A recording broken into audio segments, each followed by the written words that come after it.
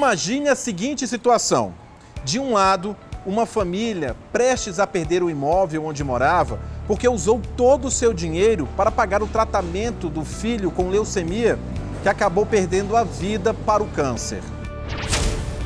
Na outra ponta, o banco que ficou sem receber as parcelas do financiamento.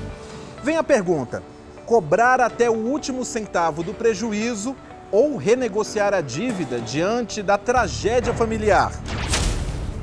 Esse dilema marcou uma história real que foi parar na justiça brasileira. A solução foi: ele está atrasado, em mora não está. Então tem que se recalcular esse período da doença do filho e ele vai, vai pagar, né? Porque ele chamava muita atenção o fato de que o casal, depois do falecimento do filho, voltou a pagar as parcelas judiciais. Interessante. Isso é uma boa-fé notória, não é?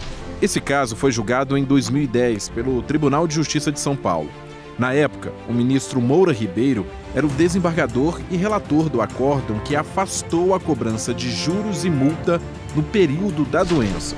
Foi a primeira vez que um magistrado brasileiro adotou o chamado capitalismo humanista, que se baseia na dignidade da pessoa humana, um princípio central em nossa Constituição Federal promulgada há 35 anos.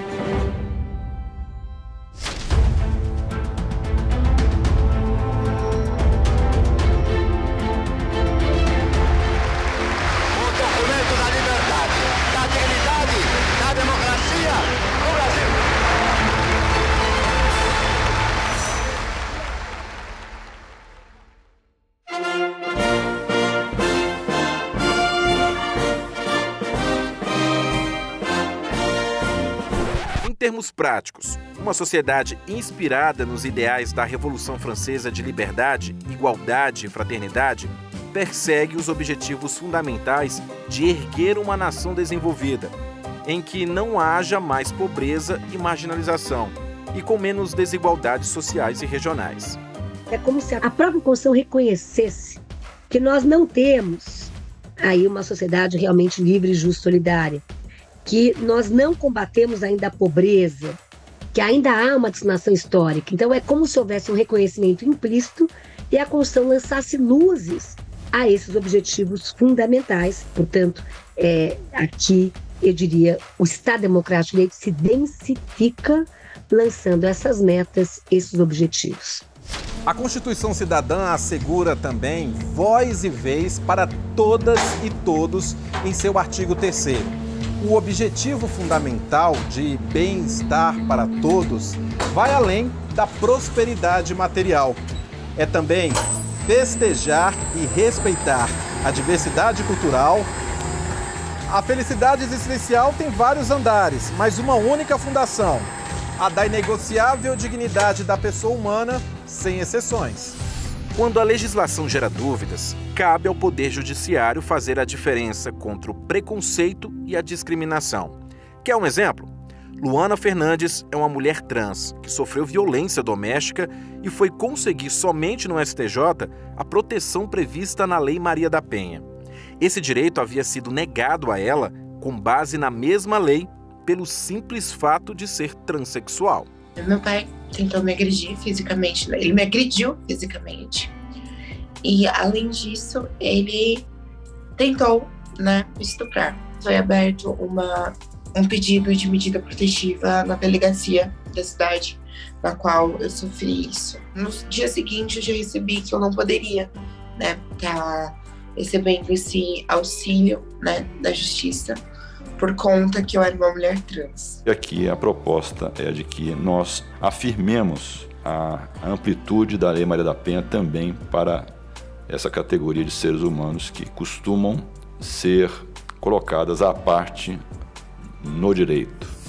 Na planta do nosso Estado Democrático de Direito estão presentes não apenas os desenhos arquitetônicos para construir o Brasil, mas também um planeta melhor. O artigo 4 da Constituição lista os princípios fundamentais a serem seguidos pelo Brasil nas relações com outros países: a independência nacional, a prevalência dos direitos humanos, a autodeterminação dos povos, a não intervenção, a igualdade entre os Estados, a defesa da paz, a solução pacífica dos conflitos, o repúdio ao terrorismo e ao racismo, a cooperação entre os povos para o progresso da humanidade e a concessão de asilo político. E, além dos princípios, o artigo 4 traz em seu parágrafo único um objetivo para a diplomacia brasileira: estreitar os laços econômicos, políticos, sociais e culturais com as nações latino-americanas, para a integração entre povos com tanto em comum. O Brasil tem essa marca, essa vocação pacifista, a solução pacífica das controvérsias, a defesa da paz. O artigo 4 vai além, prevê a prevalência dos direitos humanos, a guiar as relações internacionais. Prevê o repúdio ao racismo e ao terrorismo. Prevê a cooperação dos povos para o progresso da humanidade e a concessão de asilo político. A Constituição de 88 é visionária, é, tem uma vocação transformadora e, portanto, é, ao seu tempo, realmente esses avanços ainda eram mais extraordinários que hoje. Guerras nunca mais.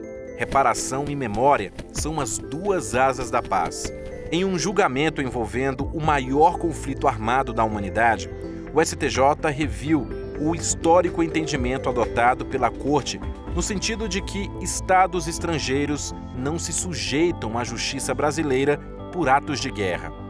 Em nome do princípio constitucional da prevalência dos direitos humanos no mundo inteiro, a quarta turma do Tribunal da Cidadania determinou a continuidade de ações indenizatórias e na Justiça Federal contra a Alemanha pelo naufrágio do barco de pesca brasileiro Shangri-La, após ataque de submarino nazista durante a Segunda Guerra Mundial.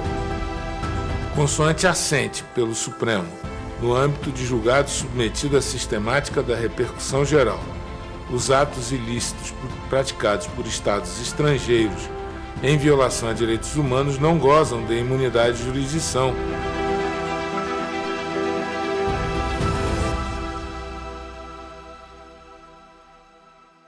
Direitos humanos, democracia, um Brasil no mundo de paz.